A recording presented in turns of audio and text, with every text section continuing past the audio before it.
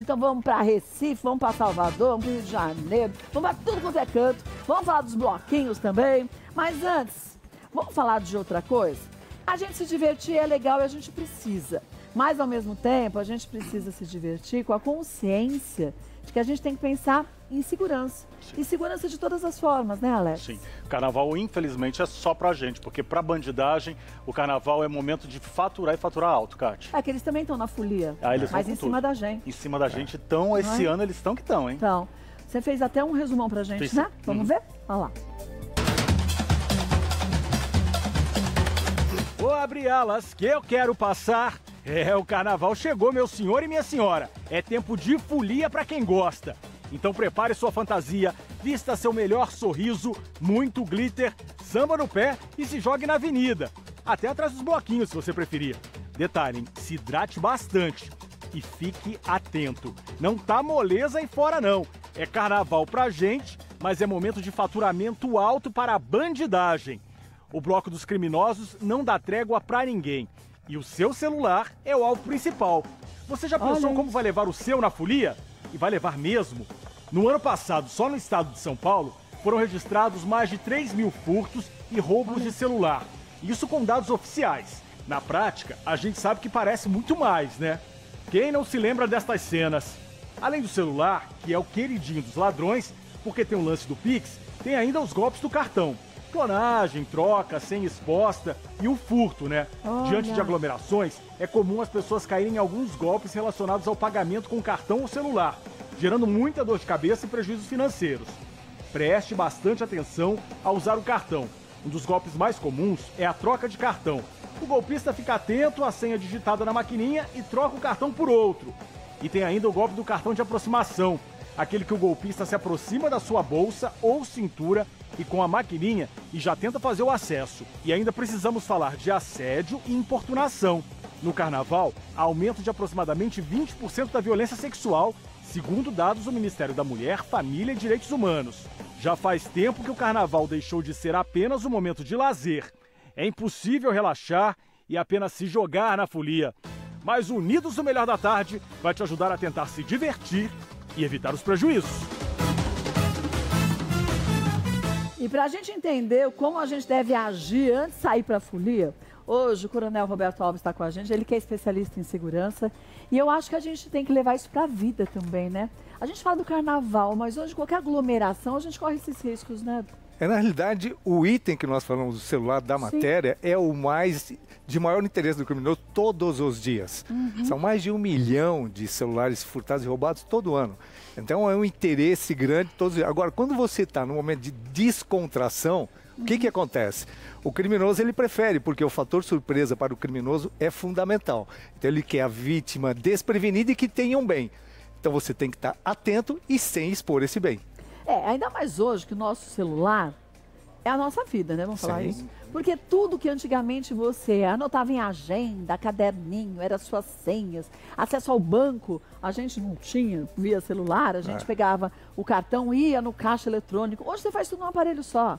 Então, quando o bandido rouba o teu celular, ele rouba tudo e mais um pouco que ele pode, né? Exatamente. É por isso que você tem, todos têm que ter essa atenção essa. Primeiro que ter um segundo aparelho mais simples, chame menos atenção.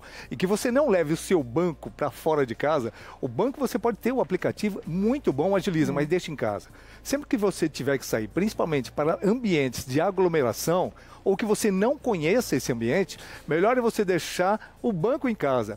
Ou você desabilite naquele período, principalmente no carnaval, importantíssimo, não leve o banco, porque o criminoso ele quer o seu celular, mas tudo que ele contém, informações. Quantas pessoas sequer não sabem o número do seu telefone é ou o número de emergência para você ligar naquela hora? Levar o meu celular, para quem eu ligo?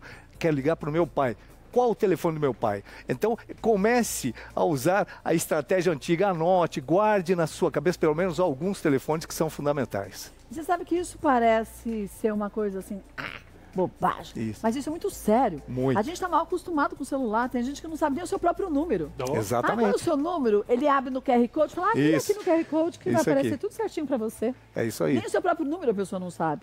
Tem muitas perguntas já chegando, Muitas né, perguntas, Alex? principalmente referentes a celular. Ó, o Zé falou o seguinte: Olá, Kátia.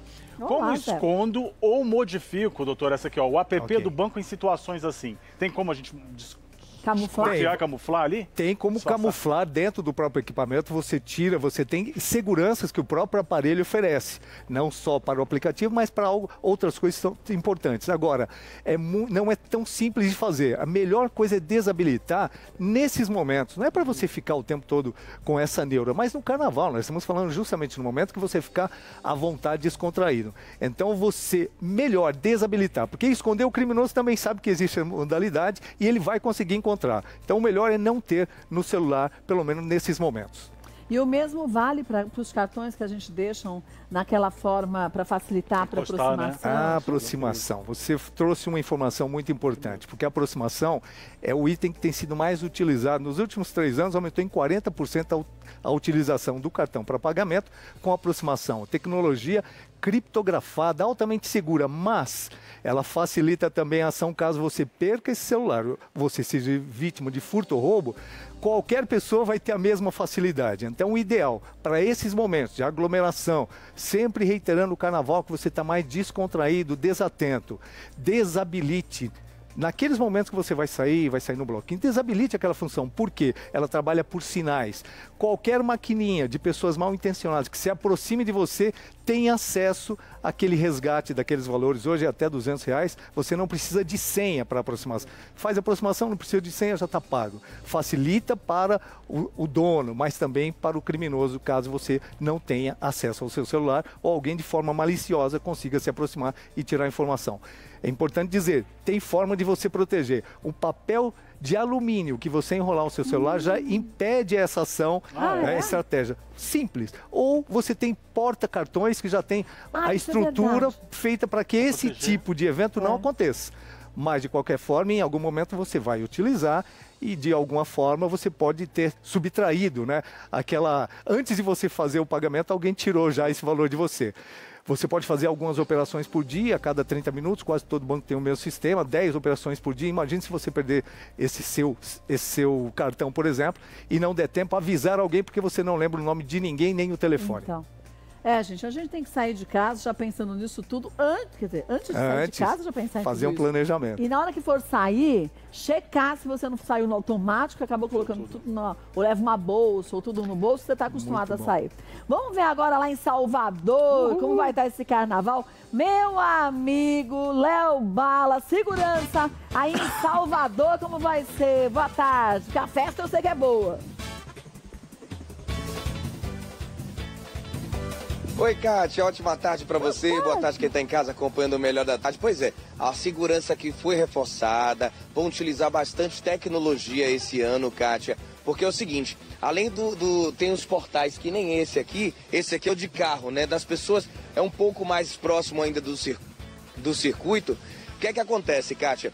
As pessoas vão chegar, vão parar numa fila, vão ser revistadas para ver se tem alguns objetos Legal. perfuro-cortantes, saber se tem alguma arma branca, saber se tem se tá armado ou não, se tem algum aqueles churrasquinho de espetinho, não tem aquele palitinho, Sim. também está proibido. Aquelas Ah, é? armas de água também estão proibidas aqui na capital baiana, porque é o seguinte, é, eles estão ainda com, utilizando o reconhecimento facial né, em todos os portais. Então, assim, as pessoas que tiverem mandado de prisão em aberto, passou pela, pela área ali, qualquer área aqui do circuito que tem a câmera e tiver o reconhecimento facial, a pessoa vai ser presa imediatamente. Então, tem também ainda, Kátia, policiais vão estar disfarçados, como se fossem foliões, e observando. Vocês estão falando bastante de celular aí, e observando para poder ver se tem aqueles, aquelas pessoas que fazem aqueles assaltos, aqueles furtos de celular rápido. Você está lá curtindo, do nada sente uma mão no bolso, e aí quando você vai ver, cadê o celular? Olha a procura, tá com quem, ninguém sabe, porque é um verdadeiro mar de gente, né, Kátia? Aqui no nosso carnaval. E ainda, Kátia, vai ter também, é, é, além dos portais, vão ter ainda é, é, os policiais que vão estar como se fossem cordeiros também, mais próximo ainda do, do público, né? Então as pessoas têm que ficar bastante atento, as pessoas maldosas que quiserem fazer maldade no carnaval, tem que ficar bastante atento aqui no circuito. Viatura acabando de passar aqui agora. É viatura para um lado e para o outro, carnaval tá seguro. A única coisa que hoje estou meio triste é por conta dessa chuva, que Mas ontem estava um sol danado e hoje Salvador tá toda alagada. Ah, mas pera um pouquinho, meu amigo. Eu achei que fosse, fiquei toda cheia, assim, dois segundos. Que você ia falar assim, ah, eu tô triste porque esse ano você não vai estar aqui com a gente, curtindo o camarote da Band. E eu já tava pronto, falando assim, ah, é verdade, bem que eu queria. E você me fala que é a chuva, a chuva refresca. E a gente não vai ter como ir esse ano, né, Alex? Esse Vamos estar ao não. vivo. Vamos estar ao vivo trabalhando não- aqui. Eu pensei que você viria ainda. Não, menino, não vai dar não. A gente vai estar com o programa ao vivo. Mas deixe só tu, que ano que vem eu já vou chegar uma semana antes e sair uma semana depois. Porque o carnaval em Salvador começa antes, dura o carnaval inteiro e a festa, eu vou te falar uma coisa, de Salvador vai pra vida da gente, sempre no coração, a gente carregando, viu? Um beijo, viu, meu amigo? Fica com Deus e aproveite. Beijo. Beijo. Olha, eu vou falar pra vocês, carnaval em Salvador, com o Léo Bala, com o Ziel, com aquela turma toda, é uma felicidade tão grande, É né, lindo, Alex? não é, Chá? É lindo. maravilhoso. E o que eu acho legal é que eles fazem um sistema de segurança efetivamente forte. Eu digo efetivamente, porque enquanto tá rolando ali o pula-pula, a pipoca, tem policiais que vão entrando a- de um lado, de outro, e as pessoas vão né? abrindo É. o espaço, porque sabem que é assim que tem que ser e a lei tem que estar junto. Então é ótimo quando a gente vê situações assim. Agora, vamos embora para Recife. Ih, Band que eu Folia adoro. puro. Ah, olha só. Galo da madrugada, é Esse festa, é você conhece, alegria. hein? Vamos ver lá como que tá a situação? Será que tá me ouvindo? É o Arthur Tigre? Quem, quem que tá aí com a gente hoje? É o Marvin! É o Marvin. Marvin, tá me ouvindo, Marvin? Você acha que não tá ouvindo? Oi, Kátia! Oh. Que prazer falar com você de novo, minha amiga. E, e principalmente aqui, né? Aos pés do galo. Do galo que tá ali, ó, com 28 metros, 8 toneladas, que tá pedindo paz, viu? Em 16 idiomas. E é justamente isso que a gente quer, né? E para trazer essa paz, o governo do estado, viu, Kátia, investiu aí mais de 12 milhões de reais para contratar quase 68 jornadas extras de trabalho né, de profissionais da área de segurança pública, como policiais civis, militares, corpo de bombeiros e etc, viu? E isso aí vai trazer um pouco mais de ajuda para nossa segurança pública, porque levando em consideração o ano passado, já que a gente está apresentando aí um aumento do efetivo de 10%, né? No ano passado, o governo do estado não divulgou números de assaltos e roubos, mas disse que a gente conseguiu reduzir em 50% o número de assaltos e em 30% o número de furtos aqui no estado, né? Assaltos e furtos, perdão. Aqui no estado, né? E também não teve nenhum homicídio nos polos aqui do Recife, que você conhece muito bem, já que você veio até aqui aproveitar esse carnaval junto com a gente. Neste ano, a grande novidade vai ser câmeras acopladas em policiais que vão passar no meio da multidão, né? E se alguma pessoa estiver ali com registro no Banco Nacional de Dados de, de mandados de prisão por homicídio, estupro, qualquer outro tipo de crime hediondo, né? Vai ser reconhecida. Os policiais vão levar essa pessoa para um local para checar todas as informações. Se de fato essas informações forem confirmadas, aí sim a prisão acontecerá. Mas o que a gente aguarda aqui é que seja de muita paz, viu, Kátia? Até porque Será? estamos preparando aqui o Band Folia, que começa já hoje, a partir das 4 horas da tarde, lá no Marco Zero, com Mob Augusto, que você conhece bem, Uhum. Conheço. e Arthur Tigre, que inclusive foi seu parceiro aqui no ano passado. Verdade. Vai levar aí atrações como Alceu Valença, Elba Que Ramalho, delícia. Luísa Sonza, Ludmilla, Tiaguinho, ou seja, a festa não tem nada aí pra deixar o pessoal parado, né? O pessoal vai curtir bastante e a gente espera que seja de muita paz. Kátia. Olha, obrigada mais uma vez, Marvin. Olha, eu vou falar uma coisa pra vocês. Você curtiu o carnaval em Recife também é uma delícia, ainda mais quando a gente fala no Galo da Madrugada, que é uma história tão rica, tão intensa e tão presente na vida ainda dos brasileiros e que, que a gente tem que valorizar isso, que é um trabalho feito, primeiro, um, acabou o carnaval, eles já começam a escolher qual será o tema do próximo carnaval. Para montar esse galo, sempre com uma nova proposta, uma nova questão a ser pensada, algo para a gente analisar e principalmente modificar na vida da gente. Então, quando a gente fala num povo unido desse jeito e ainda com mais segurança, e a gente teve ano passado lá, e a gente chegou muito cedo nessas regiões todas e o efetivo policial era grande.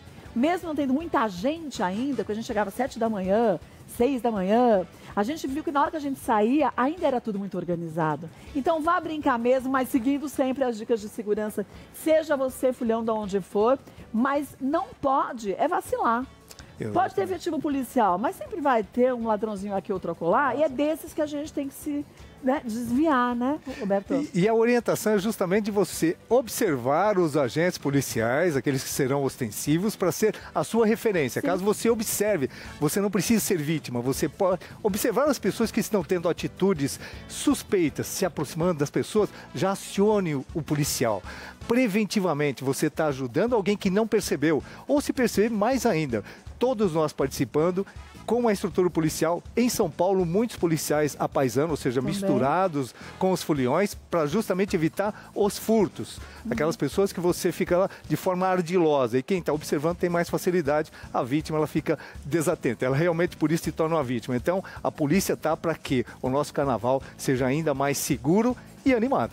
É, e vai depender mais da gente. Sim. Pode ter o efetivo policial que for ali, se a gente vacilar, isso em qualquer época, não só no carnaval, mas ainda.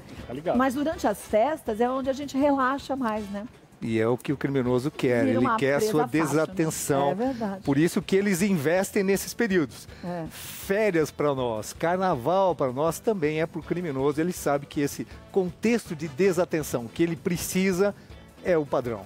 Agora aqui a gente tem algumas, alguns tópicos para a gente falar, para você prestar atenção. Cuidados gerais na folia. Embalagens lacradas. Sim. Isso também é importante, porque se a gente vai entrar, por exemplo, a gente estava vendo onde a gente vai ter em Salvador ou em Recife, outras localidades, os desfiles, eles vão checar tudo direitinho. Mas aqui a gente fala até para a segurança das pessoas, de comida, de você levar a bebida, para ficar atento, né? Drogas, às vezes, é. né? colocam na sua comida, você não então, vê. Mas eu acho que por isso que é legal a gente ter aqueles copos, isso, isso. até para balada, lacrados, isso. que você abre para você tomar. Porque às vezes se você compra uma bebida, que já vem um rapaz joga lá, a pessoa é. joga no seu copo, num copo e te entrega o copo aberto. Você não sabe que mistura que fizeram ali. É. Então compra lacrado ou leva o seu copo, compra a sua, a sua bebida, você mesmo coloca e fecha e trava o copo, né? Essa é uma das dicas de segurança. Não use nada que venha. Uhum de uma forma é simplista, né? Mas já Sim. veio aberto, você não viu como é que foi colocado. Que colocaram lá dentro. Um dos né? grandes problemas, no, principalmente no carnaval, são essas pessoas ardilosas que colocam algum componente, alguma estrutura, não tem sabor, não tem cor e disfarce. E aí é o famoso Boa Noite Cinderela. A pessoa continua consciente, quem está observando, até uma autoridade pública não tem noção se a pessoa estava bebendo normal e essa pessoa vai com ela, faz o que quer, tira o dinheiro. Muitos casos de violência sexual, Também. porque a pessoa não tem condição de resistência. Então, a sua alimentação, tudo que é seu tem que estar protegido. Seu alimento, seu patrimônio. Evite de despo... despoje-se daquilo que você não precisa levar. Relógio, cara, para quê? Correntinha para quê? Esquece. A pessoa fala, ah, mas se levar correntinha não tem problema. Mas a agressão na retirada, Sim. às vezes, pode prejudicar. É verdade. Olha, uma questão importante, eu falei que de levar para a vida, mas ó, sempre ande em grupos, principalmente se você for sair de madrugada de um lugar, se locomover a outro.